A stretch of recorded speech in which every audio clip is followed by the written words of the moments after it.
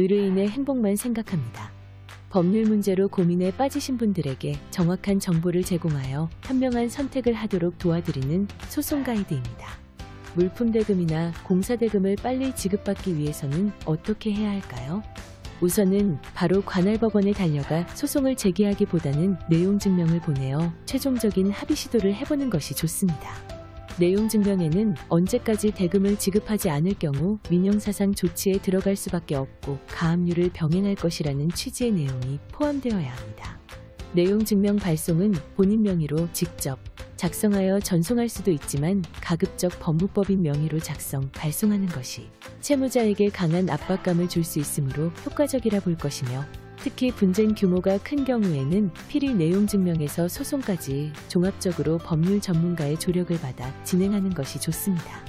내용 증명을 보내거나 아무리 전화, 문자 등으로 호소해 보아도 상대방이 대금을 지급하지 않을 경우 부득이 물품 대금 청구 소송, 공사 대금 청구 소송을 제기할 수밖에 없는데요.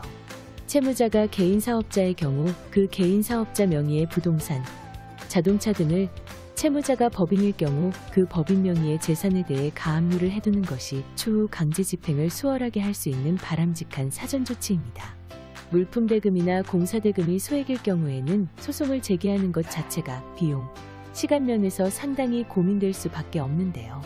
소액 재판 절차를 활용하면 일반 민사소송에 비해 훨씬 간이하게 진행할 수 있고 비용적인 면에서도 채권자의 부담을 줄일 수 있습니다.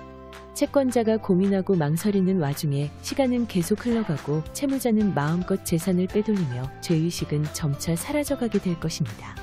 물품대금, 공사대금은 단시 소멸시효가 적용되어 시효기간이 3년 밖에 되지 않아 자칫 고민하다 보면 본인도 모르게 시효가 완성되어 더 이상 청구가 힘들어질 수 있으니 명심하시기 바랍니다.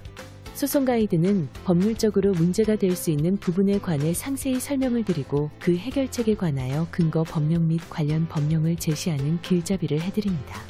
항상 노력하는 자세로 의뢰인의 이익을 최우선하는 모습을 보여드리겠습니다. 소송에 대한 자세한 상담을 원하신다면 변호사 상담 신청을 누르시고 더 많은 정보를 보고 싶으시다면 소송 가이드 카페를 방문하시면 됩니다. 내용이 마음에 드셨다면 구독과 좋아요, 알림 설정 부탁드립니다. 더 좋은 내용으로 찾아오겠습니다. 꼭 승소할게요.